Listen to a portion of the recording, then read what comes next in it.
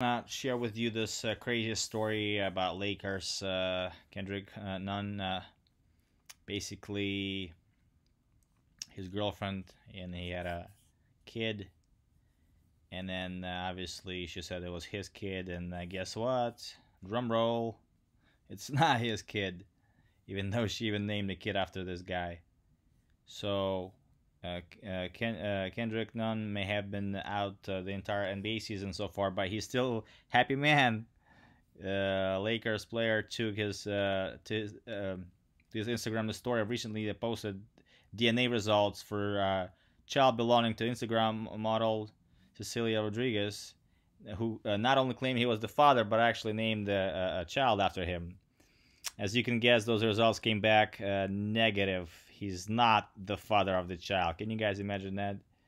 And then, uh, and she's been bragging about on her own story all day long. Look at this. I mean, these females are crazy. All right, so he's not the father. This was in uh, October 29, 2021, just over uh, two months ago.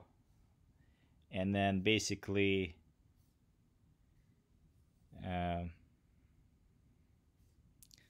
those looks can be deceiving, guys, and then there's a lot of betrayal, lies, and drama behind those sexy looks. So stay calm, relax, take it easy. Don't don't uh, make sure you the those uh, short skirts would not sign you up for 21 years of child support. That's my advice. So uh, be smart, be good to future you, and uh, don't ruin your financial life and health just because some crazy female spends a few minutes with you and then your whole life is ruined. So that's about it. Uh, hope you guys enjoyed this episode. Comment below what you think about this story.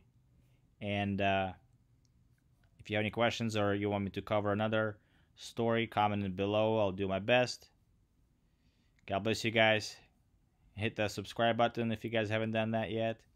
And uh, check out my other uh, videos on this uh, channel where I teach you what's happening, sharing, uh, spreading the awareness, and uh, giving you tips on surviving divorce and uh, relationships and or new relationships or courts stuff like that. So, all right,